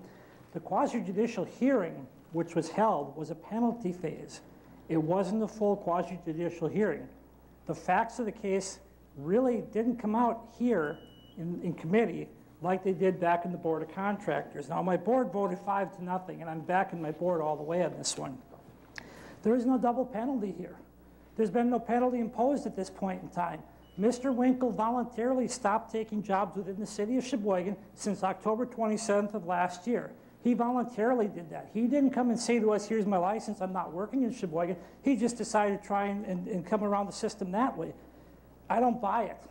The fact of the matter is, I saw the evidence in committee, we sent it up the ladder, and it, it still stands in my mind. I can vividly see those pictures of the workmanship there, or the lack thereof. And I was not a happy man when I saw them. I sit with a bunch of contractors, and we were all there that night. And they all showed me, and they all told me, because I asked a lot of questions of these people, because they're in this business. It's not a double penalty. The penalty has not been levied at this point in time. Mr. Winkle, in his own mind, has paid his price. That's what he decided to do. It's not what we've, uh, what we've put forward. Secondly, this is the final court right here. This is the final stop. If somebody doesn't like a penalty phase, we took a liquor or a beer license from a lady tonight for 90 days. She could have come up here and argued in front of us as well. The Law and Licensing Committee only makes a recommendation to the Common Council. Not that that recommendation has to be taken. It's only a recommendation by the committee. The Common Council still has the final say over anything that happens in this city, whether it be a license or putting a new manhole cover in the middle of 8th Street. The Common Council has the final say. And that's where the court is tonight, right here. After that, he'd have to go to circuit court, but we are the final court in the city of Sheboygan. Thank you. Thank you, Alderman Radke. Uh, This board is lighting up like a Christmas tree, so bear with me. Alderman Meyer. Thank you, Your Honor. I just want to say this is the same penalty that was offered the last time, last year when I was on law and licensing, and we said no at that time. And it's the same penalty with less time because more months have gone by and nine months retroactive, well, now we're down to what, a month and a half? This is just wrong. Thank you. Alderman Vanderweel. Thank you, Your Honor. I just wanted to explain myself a little bit. I was on law and licensing for three years, and I worked with Assistant Attorney Chuck Adams quite a bit, and I respect him. But his recommendations are just recommendations. It is our job as aldermen who, who are making this decision to look at the situation, and if we feel that the penalty should be stronger or weaker, we should suggest it. And that's what I did. I feel that the penalty should be stronger, and you each have a single vote, and I made my suggestion. Thank you. Thank you, Alderman Vanderweel. Alderman Verhasselt. There's been, thank you, Your Honor. There's been a lot of talk here in the last few minutes about double penalty and so on. And if, in fact, Mr. Winkle did self-impose a, um, I guess, a penalty on himself since October 27th, that would be a great gesture by him. However, I guess I think we should entertain the possibility perhaps he wasn't approached for jobs within the city limits since that period too. Seeing he did have his license and he was able, um, there is a possibility he wasn't approached. That may be the scenario. Thank you. Thank you, Alderman Verhasselt. Oh, President Berg. Uh, Yes, thank you, Your Honor. I think a couple of of just thoughts on the, the motion. I think the, um, one of the biggest penalties uh, confronting this contractor is a judgment of his peers, and also the discussion of his workmanship in the full light of the council and in front of the community. I don't think there's any penalty that can match that for any individual who holds himself out for business. So if we're talking about nine months now or nine months later, I think the public certainly has been very well informed about uh, the nature of the offenses. And uh, I think for me, the length of penalty to some degree is moot in light of the impact that this likely has upon this individual as he holds himself out to the public as a contractor. Thank you, President Berg. We have, are you calling the question? Is there a second to that? Second, sir. Non-debatable. All those in favor say aye. Aye. Any opposed? We will call the question. Sorry, Alderman Manning. Madam City Clerk, please call the roll.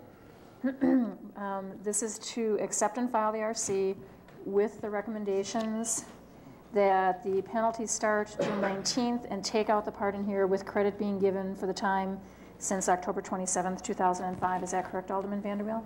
Yes. And I vote would be to do that. Um, Radke? Aye. Ryan? No.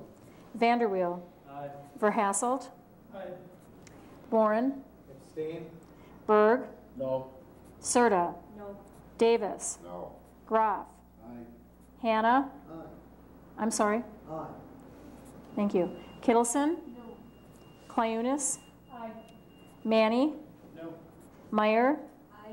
Montemayor? Aye.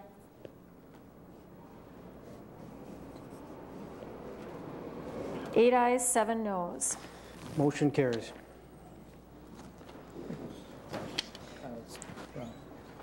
Sue, I think it was I'm six sorry. noes and one abstention. I'm sorry, I'm sorry, take that back, there was an abstention. Six noes, one abstention. Five, six, seven, eight, one, two, three, four, five, six. I'm sorry, take that back. There were eight ayes, six noes, and one abstention. Sorry, Alderman Borman. Okay, everybody got that clear? Very good. The uh, 668 by Public Protection and Safety recommending that the Common Council keep Wildwood Avenue open and doesn't go forward with a previous recommendation, RC number 1610506, that would require blocking Wildwood Avenue and block a driveway into the Sheboygan Athletic Club complex on New Jersey Avenue. Alderman Vanderweel. Thank you, Your Honor. I'll make a motion to accept and adopt the RC. Motion and second, under discussion. Under discussion, this is a complicated issue, and I'll try to explain it in a short amount of time. But about two and a half years ago, Denny Moyer from the, from the local A's baseball complex asked us to work with him regarding the problem of parking around the complex. Our engineering department worked off and on the last two and a half years to come up with the best solution to, uh, to work with Denny Moyer. We- We looked at every possibility and decided the best way to go was to close the north side of uh, Wildwood Avenue. This would slow traffic down on Wildwood Avenue and would allow more parking in that area. Uh, blocking the driveway along New Jersey Avenue would also allow a little bit more parking. Just for the record, I was always a little concerned about this and how it would affect the public.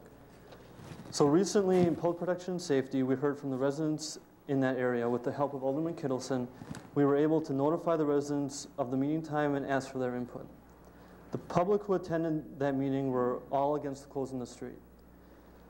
The committee could not take any action because the last council already approved the closing.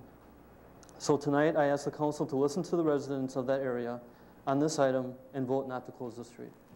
Thank you. Thank you, Alderman Van Wheel. Alderman Meyer, you're next. Thank you, Your Honor. Um, I was on this committee last year when this issue came in, and we voted to close this road. And the reason being, we were told that all the neighbors had been notified and no one had a, had a problem with it. So we thought, great, you know, we'll, we'll do something good for the athletic club, possibly a safe, safety for the people walking around in the road and kids chasing balls, we're told. We thought this was an easy situation. And then a couple weeks ago, we find out that all the neighbors are in an uproar. Nobody knows anything about it. So I guess there was some kind of lack of communication, and I hope that this kind of stuff doesn't happen in the future. It would make our job a lot easier if the people are notified like we're told. Otherwise, I guess we'll have to run around and start knocking on doors ourselves. But we did trust, um, you know, the people, the professionals, and um, I don't know, I guess somebody dropped the ball somewhere. Thank you. Thank you, Alderman Meyer. Alderman Kittleson. Yes, thank you, Your Honor. I just wanted to say, on behalf of the residents up in that area of the third district, uh, I appreciate the recommendation of the Public Protection and Safety Committee to uh, to look at that resolution or that uh, uh, uh motion to uh, close that street. They really appreciate it. They I went up there and talked to the people, and, and they hadn't heard about it. So I, I don't know where the miscommunication was, but uh, and I know the people at the VFW hall were quite upset about it also. So they all appeared at the meeting, and I believe we did hash it all out. But on behalf of all of them, I know they uh, they appreciate not having the street closed. Thank you. Thank you, Alderman Kilson, Alderman Montemayor. Thank you, Your Honor. The citizens in that area did come and speak with us, and they made themselves very clear originally, it was to help out the children playing in that area, the parking, the baseball games that were going on, and the city had decided that it is a narrow little street with no curbs. It is very narrow. And it is about half a block further, and you're on a regular street to go up that same hill. So we thought it was probably a fine idea to close that, and it would make things better. Just wanted to explain a bit more. Thank you. Thank you, Alderman Montemayor. Before we call a roll, just wanted to point something out. This is another good example of how the Common Council can change its mind. Okay, you're doing it tonight on another issue. When people tell you you're being indecisive, you, you made a decision, don't change your mind, it's okay to change your mind. This is a good example of doing that, and there's a good mixture of reasons for that, and, and that is what legislation is about. Thank you. Please call roll. Ryan? Vanderweel. Verhasselt. Boren. Berg. Aye. Serta. Davis. Aye. Groff. Hannah. Kittleson. Clayunas. Manny. Meyer. Montemayor. No. And Radke. Aye. 14 ayes, 1 no. Motion carries. Ordinances, ordinances introduced 10, 669 through 670 to be referred. Matters laid over. 11. 438 and RO, RO number 350607 by the City Plan Commission recommending vacating that portion of South Water Street between the east right-of-way line of South 9th Street and the west line of South 8th Street of the original plat, City of Sheboygan. Alderman Montemayor. Thank you, Your Honor. I move the report of officer be accepted and adopted and the resolution be put upon its passage.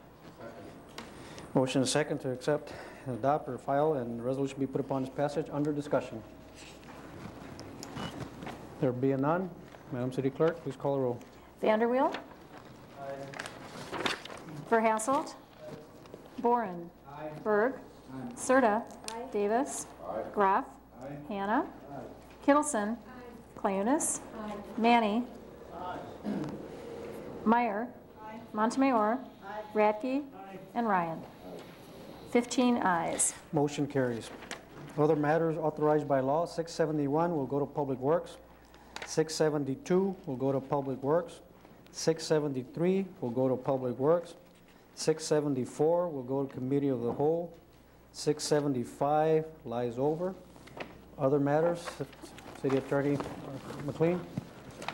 Thank you, Your Honor. 676 is a communication from Eric Jensen of LJM Architects requesting an encroachment into the public property along the River Boardwalk in the South Pier District to construct a wood deck for outdoor dining purposes to be used in conjunction with the Islander Cafe. That goes to the city plan. 677 is an ordinance granting LJM Architects, successors and assigns the privilege of encroaching upon described portions of a public promenade located at 528, 530 South Pier Drive in the city for the purpose of building and maintaining a deck. And that one I'll refer to city planning too. 678 is a resolution adding one additional member and one ex officio member to the short-term committee employee remuneration committee. That one will lie over. 679 is an RO by the city clerk submitting a communication from John Madenauer asking that the council vote to bring the location of the police department to a referendum. Hold on a minute, Alderman Kittleson on that one. Thank you, Your Honor. Can we just change that to Gail, the lady, uh, instead of John? It's Gail in the resol, in the uh, Oh, you could, oh, okay. name.